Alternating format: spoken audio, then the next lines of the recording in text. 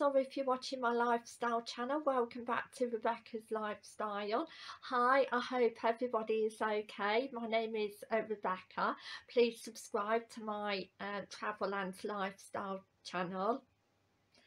And today I'm going to be doing a budget travel uh, special five exciting facts January 2022 part 3 and this is uh, from where or weareglobaltravellers.com uh, where I'm getting the information from. And uh, number one is choose your destination carefully. I have said it in many other videos. Some uh, places are naturally more expensive or cheaper than where you call home.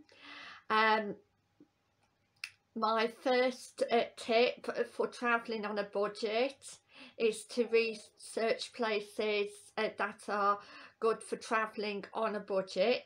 Maybe it's somewhere that's cheap and easy to get to or somewhere where the currency um, is good value because the exchange rate is a lower cost of living than at home um, again makes sense. Um, number two, avoid tourist traps. Big cities and tourist hotspots are often a lot more expensive than straying off the beaten uh, track and try to choose less well-known destinations if you can even with your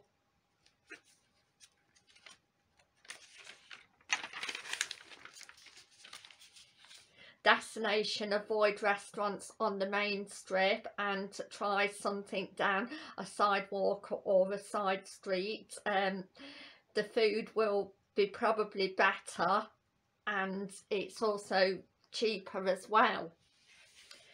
And uh, number three uh, get travel insurance. I know it's an extra expense uh, which I've also said um, in other videos but uh, you will thank yourself for sorting it out.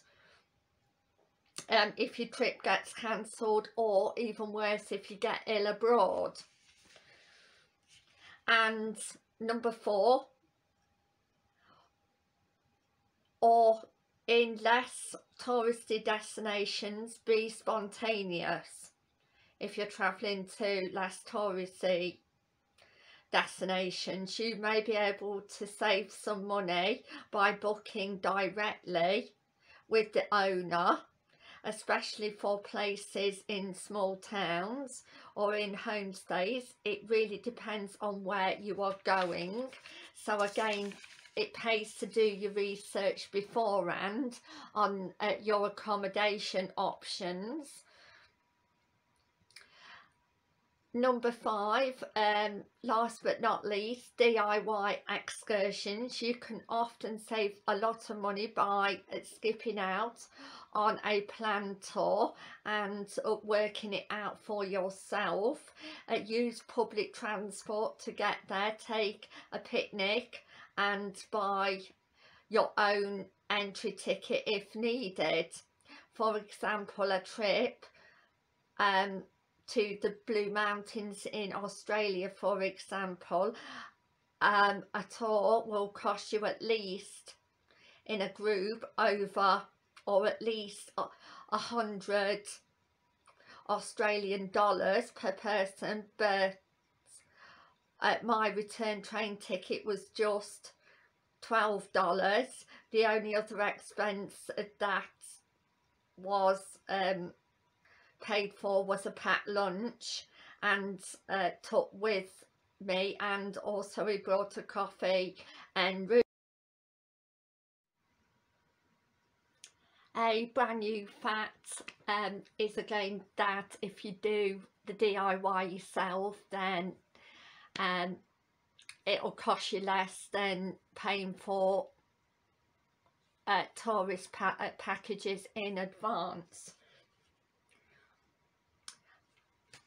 And um, also save you money while, uh, while uh, you're there at the tourist attraction as well because uh, that can be expensive um, at a tourist attractions, cafe, restaurants, etc.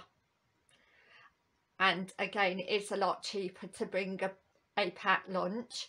I would like to say um, thank you for watching and I hope everybody is okay and um, I'll see you tomorrow uh, for my improvements, updates and more video.